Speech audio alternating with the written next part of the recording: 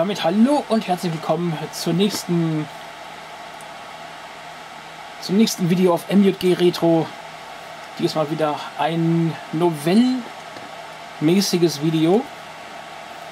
Wir sehen hier gerade die grafische Oberfläche mit Maus. Uah, Schauder.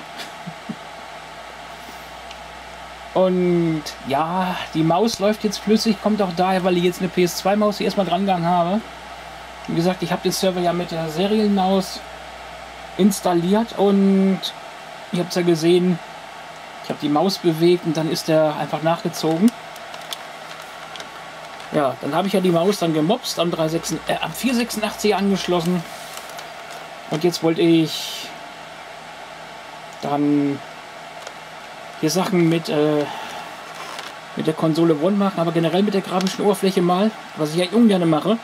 Und was ist? Das war die falsche Taste, die ich gerade gedrückt habe. Warte mal.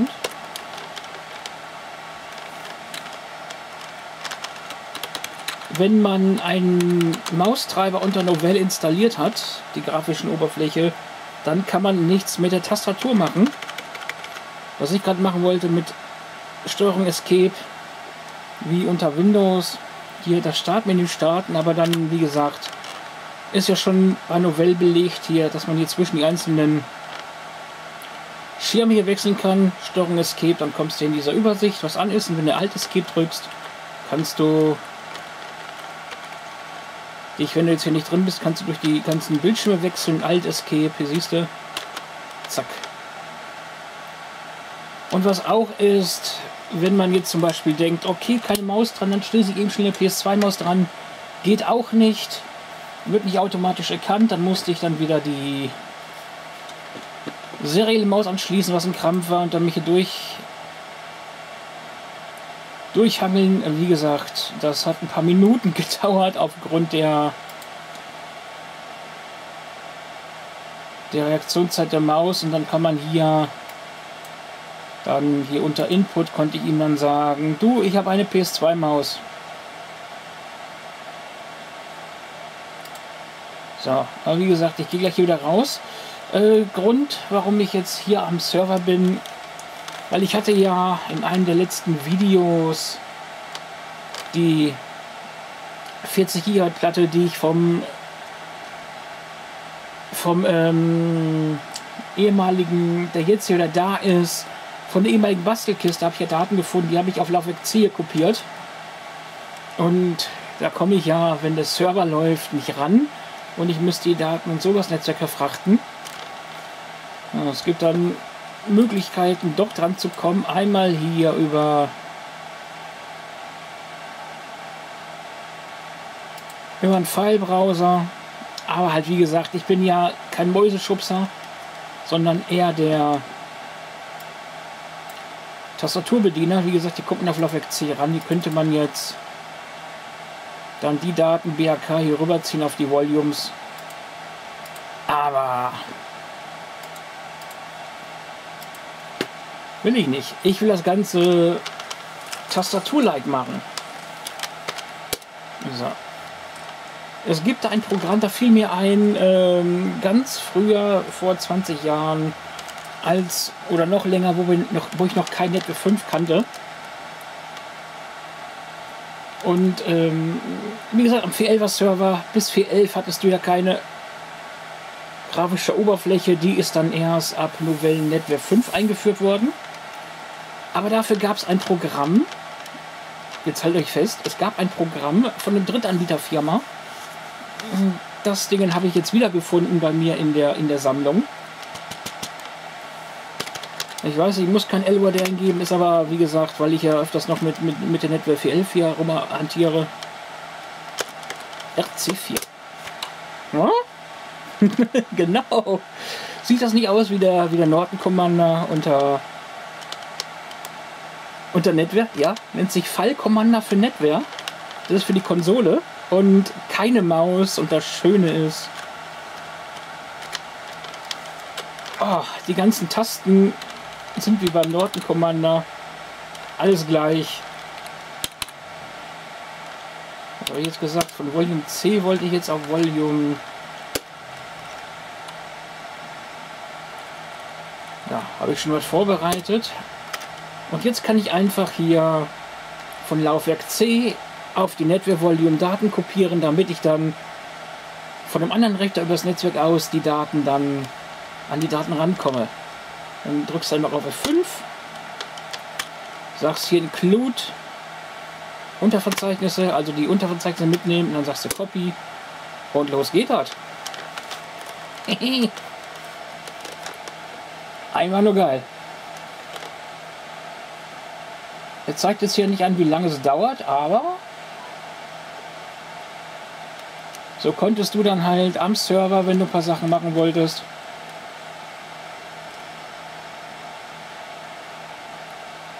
das ohne äh, die Workstation machen. Natürlich könntest du das Ganze jetzt auch über die Fernwartung machen, über die Fernkonsole. Mal gucken, wir gehen unter, unter von Weizen mal. Und unter Novell 411 und davor musste ich ja dann das äh, Protokoll RSBX laden und dann konnte ich dann über die Workstation die R-Konsole starten und dann hatte ich dann eins zu eins den Monitor vom Server auf die, auf die Workstation gehabt. Das war jetzt zu DOS-Zeiten. Ne? Und wie gesagt, wie das jetzt funktioniert, muss ich mich dann wieder schlau machen. Und da los.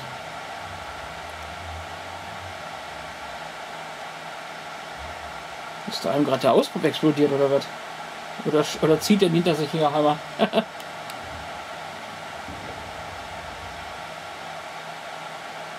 Hört sich ja heiß an.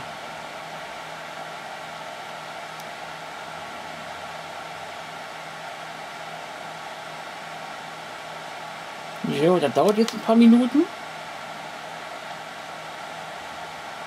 Und ansonsten, was du auch machen kannst, hier unten zum Beispiel, du kannst sogar hier purgen, dann musst du nicht den Pfeiler aufrufen. Oder den Filler. Dann kannst du auch dann die Sachen hier über die Dateien also Purge ist ja folgendes. Ähm, das ist sowas wie der Purge bedeutet, du leerst quasi den Papierkorb. Die Netware hat, wenn du Sachen löscht, auf dem, auf dem Server hat sie ein Netzwerkpapierkorb. Also nicht über Windows, wenn du da was löscht, dass dann einfach äh, übers Netzwerk, dass die Sachen weg sind. Die werden dann zwischengespeichert in so einen Netzwerkpapierkorb. Hier deleted, deleted.save hier.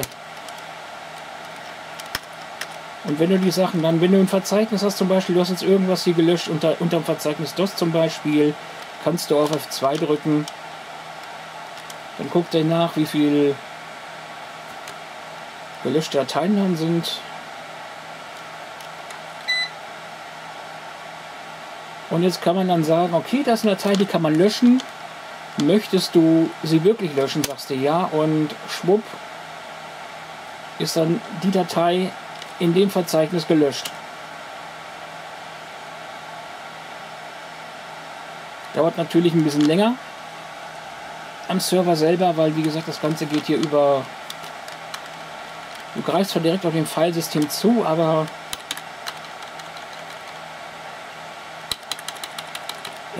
Schneller geht es natürlich, wenn, wenn du jetzt zum Beispiel, das kannst du nur von der Workstation aus machen, wenn du den Pfeiler zum Beispiel aufrufst. Network Commander, nein. Und solche Sachen kannst du halt machen. Was du auch machen kannst, hier, du kannst. Ich gehe mal auf Sys. Wo haben wir sie denn hier zum Beispiel im Verzeichnis? System, die Auto Exec NCF. Wo ist sie denn hin? Da ist sie. Kannst du dir mit F3 angucken. So sieht sie aus. Genau, und das ist es hier der Konsole J. So, wie die so funktioniert, muss ich erstmal gucken. Habe ich noch nie was mitgemacht, muss ich gestehen.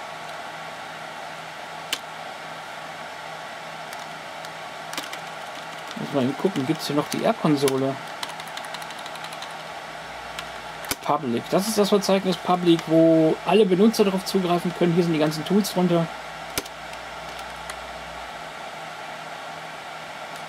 Wie der Filler oder Pfeiler zum Beispiel. Ist mal gucken. R-Konsole. Haben wir die noch im Angebot? Oh, die gibt es sogar noch. Dann kann ich ja über eine DOS Workstation, das werde ich dann mal ausprobieren. Ah, Purge-Wechsel gibt es auch. Habe ich nie benutzt, muss ich sagen. Ich habe mir den Filler benutzt. Ja, aber das war eben das, was ich euch zeigen wollte, eben schnell. Es gibt sozusagen den Norton Commander auch für Novell, für NetWare direkt am Server. Hat natürlich nur der Admin darauf Zugriff. aber es ist ein schönes Administrationstool. Und äh, der Grund, warum ich äh, RC4 aufgerufen habe, ist, es gibt da zwei verschiedene Varianten. Es gibt da einmal die Version für NetWare bis 3.12, also für die Binary. Und dann die RC4 ist dann für die Novell-Version ab 4 gedacht, die die NDS haben. Also ab 4 aufwärts. Weil da kannst du auch noch einige Sachen anstellen und so weiter und so fort.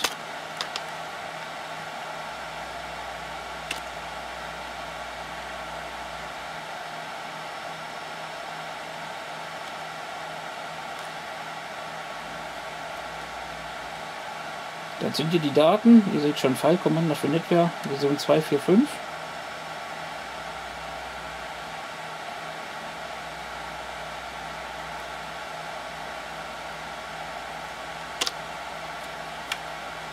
Ich habe es nur eben jetzt hier zugehalten, weil eine Seriennummer sichtbar war.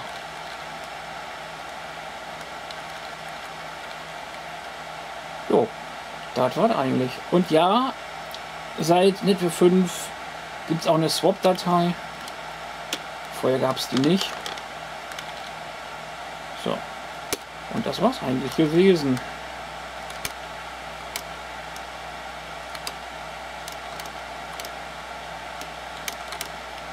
Das sind jetzt alle Sachen. No.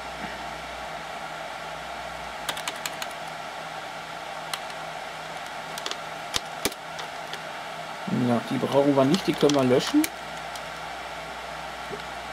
Da habe ich letztens drauf kopiert.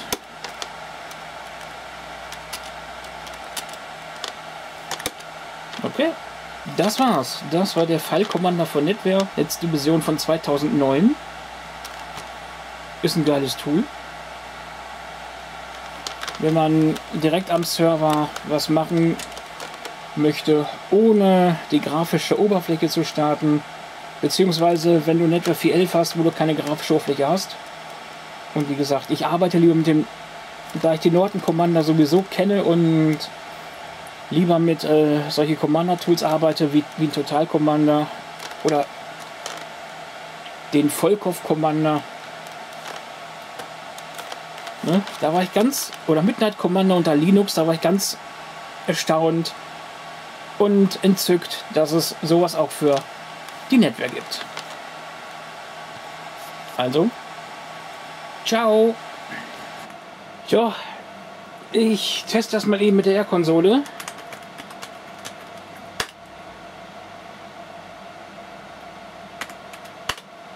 LAN, da ist er, 320. Das ist, ich habe den ESPX-Treiber geladen. Mal gucken. So, ich bin auf der Konsole drauf. Ja, geht. Okay, also RSPX funktioniert auch noch. Das wollte ich wissen. Sehr gut. Dann muss ich den Befehl jetzt nur noch in die AutoExec NCF reinhämmern und dann... Ach so, Alt und F. Ah, okay, die Alt-Tasten sind belegt mit anderen Sachen. Ich erinnere mich langsam wieder. Select a Screen, genau. Alt F1. Dann konnte man jetzt hier Sachen auswählen. Select the Screen to View. File Commander. Ja, Directory Scan, Transfer File to Server. Das ging dann nämlich auch, okay. End Remote Session, Workstation Address kann man sich anzeigen lassen. Okay. Und Alt F2 war gewesen, Quit Remote Session. Ja, Damit... okay. Ist der Laufwerkswechsel nicht möglich?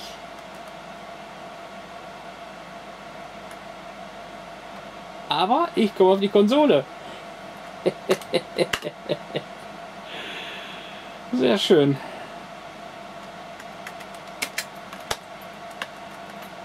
Oh, warte mal eben.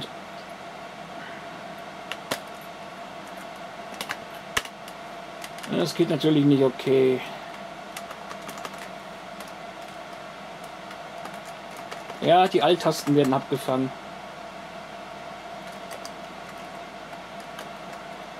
Alt F3, damit kannst du dann... Okay, Konsole wechseln. Alt F4 kannst du zurück. Aha, ja gut, okay, alles klar. Aber wie gesagt, ich bin ja, ihr seht schon am 386 auch nicht am... Ja, es geht. Ich bin jetzt noch ein zweiter... Remote-Konsole 4.20. Äh, hier wird weich. Die ist stoned. oh, die Uhrzeit fast auch, um 5 Minuten. okay, the Windows Display List of Network Servers available. Ja, das kennen wir alles, aber. Okay, also geht. Sehr schön.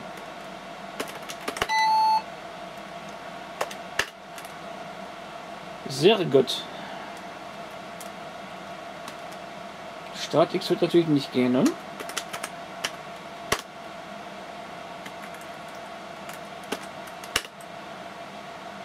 Das wäre jetzt auch ein Wunder. Nee, natürlich nicht, aber da kann man jetzt so schön sehen, welche Module nachgeladen werden. Ach, gucke mal. IceVM wird da als äh, Oberfläche benutzt.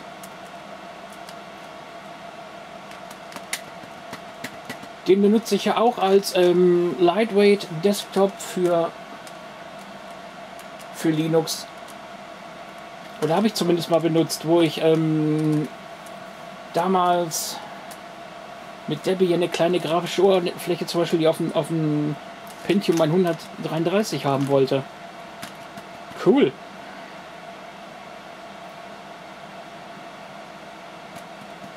Auch nicht schlecht. So, warte mal. Aber es geht. So, dann gehe ich ja hier wieder raus.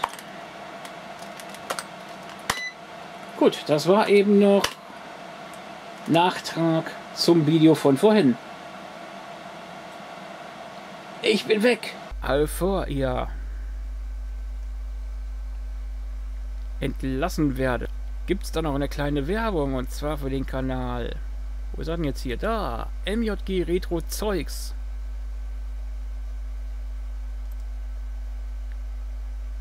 Dort werden alle Videos hochgeladen. Na, äh, einige, die ich damals auf Tech, Mikes Hobbyzimmer und auch unter meinem ersten Kanal, Mike Gründel, veröffentlicht hatte. Das sind alles Videos, die nichts mit Technik oder Let's Plays zu tun haben. Das sind alles mögliche Sachen, wie gesagt, wie, wie Gewitterjagden, Fahrtmitschnitte, Modellbausatzvorstellungen, äh, auch die Let's Month Folgen werden hochgeladen werden. Aber hier werden auch neue Videos kommen.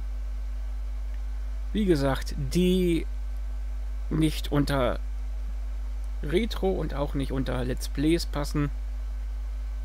Wie zum Beispiel auch jetzt hier neue Gewitterjagd-Videos, die werden dann unter MJG Retro Zeugs veröffentlicht werden. Das nochmal hierzu und wie gesagt, wer den Archivkanal nicht kennen sollte, hier MJG Retro Archiv. Hier sind auch alle alten Folgen von Weofner Tech und von Mike's Hobbyzimmer zu finden, die mit Technik zu tun haben. Wie gesagt, mit, mit alten Computern, mit, mit, mit alter Software. So, dann wünsche ich euch mal einen schönen Abend und ja, bis zum nächsten Mal. Euer Mikey. Tschüss.